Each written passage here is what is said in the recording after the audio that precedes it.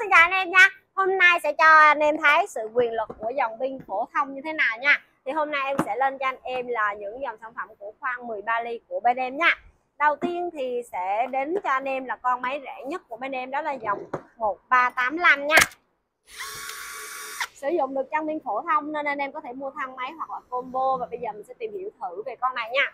Đây sẽ là một dòng sản phẩm 13 ly nhưng mà thiết kế của nó rất là nhỏ gọn và tiện lợi cho anh em luôn. Động cơ sẽ là động cơ không than nha với thông số con này thì sẽ là 1385 rô và em này hiện tại đang có cho mình là 45 new và 85 new thì anh em nghĩ cái này như thế nào? Cái này có nghĩa là cái tính năng là Turbo Eco nha.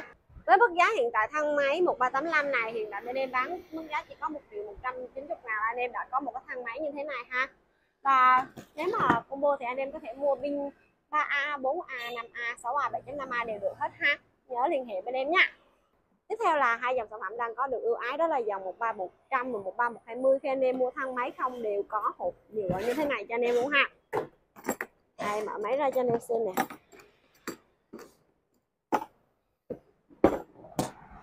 Một ba một trăm hiện tại đang chạy cho anh em rất là nhiều màu luôn. Đi kèm cho nó sẽ có một cái mũi một cái kẹp vít một cái móc và một cái tay cầm nha em này á thì uh, sẽ là một cái dòng sản phẩm giữa 85 và 120 new có nghĩa là nó sẽ có thể là hỗ trợ rút lõi nè có thể sử dụng khoan hệ hỗ trợ bê tông này và bắn tôn bắn vít bình thường luôn ha.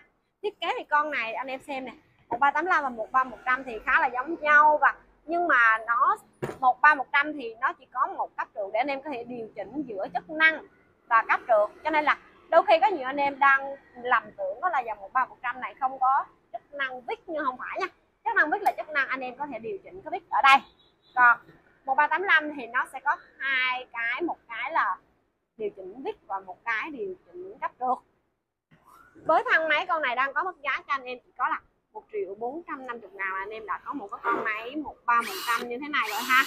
Cũng sử dụng trong pin phổ thông luôn và đặc biệt con này đang có chương trình cho anh em. Khi anh em mua thang máy 1 triệu 450 ngàn thì không có gì hết. Nhưng nếu anh em mua với mức giá 1 triệu 750 ngàn đang hỗ trợ giá cho anh em anh em sẽ có thể lấy con hút bụi DV1 nè, hoặc là con CK20 nè, máy thổi bụi pin. Đó đó là những chương trình hiện tại 13100 này đang chạy chương trình nha. Và có thêm một chương trình nữa, đó là khi anh em mua 13100 này đi kèm với CV250 NCB mức giá sẽ là 4 triệu 280 ngàn. Sẽ bao gồm là hai thang, một khoang, một viên vít, hai viên 4A một viên 5A một sạc và một túi nha. Con cuối cùng của đất tông, chắc có lẽ anh em sẽ thấy rất là quen thuộc, đó là dòng 13120 13120 là dòng hầm hối nhất, thì bây giờ em sẽ căng thử. Cái sắc máy con này bao nhiêu nha? Sát máy không của con 13120 này là một ký chính đó. Hành hối nhất nha. Được. Tích hợp với đầu chat cốt giúp cho anh em tránh đi những cái tình trạng bị lệch tâm. Con này là chuyên về rút lõi và giá của nó sẽ là thang máy không, sẽ là 1720 nha. Ngoài đất tông ra thì em sẽ lên cho anh em một cái con máy cao cấp mà tại sao bên em rất là ít lên? Đây, cho anh em xem lý do nha.